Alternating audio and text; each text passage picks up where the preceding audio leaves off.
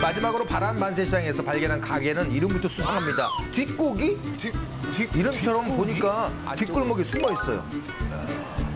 아니 간판을 보니까 뒷고기는 그 뒤에 있는 고기 말씀하시는 거예요? 아, 그게 아니고 그러면?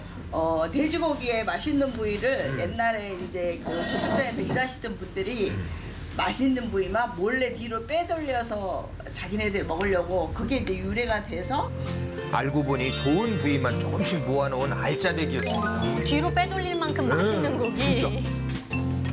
이게 뒷고기예요? 네네 다 식감이 다 틀립니다. 식감이 다 달라요. 이게 지금 이 쫄깃한 부분이고 요거는 요건, 뭐 영통 씹는 어떤 그런 맛이고 오돌오돌하고 다 사각거리는 맛이 있고 다 아. 틀립니다. 여러 부위가 섞여져 있지만요 하나하나 전부 다른 맛을 내는데요.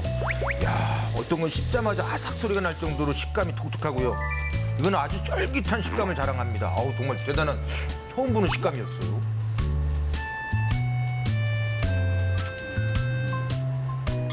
이번에는요 쌈을 싸서 먹으면 또 다른 맛이 나요. 야. 이거 새로운 고기 맛인데요? 이거 종합 선물 세트 같아. 다 달라. 말 되네요. 네, 맛다 다릅니다.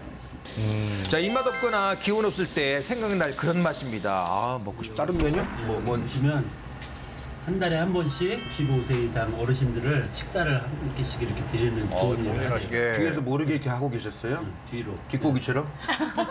살면서 누군가한테 이렇게 받아준 걸 나이를 먹어가면서 이제 돌려서 갖는다라는 마음이고 다들 친절하시죠. 네, 100년 전 애국 소년들의 뜨거운 만세 운동이 일어났던 곳, 지금은 평화의 시대의 다국적 전통시장으로 발돋움 중입니다.